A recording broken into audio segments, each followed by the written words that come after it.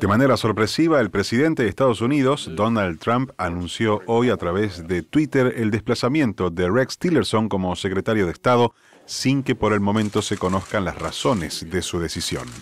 Por el mismo medio, confirmó que el actual jefe de la CIA, Mike Pompeo, será el reemplazante de Tillerson y que Gina Haspel se hará cargo de la agencia de inteligencia, quien se convierte así en la primera mujer elegida para ese puesto.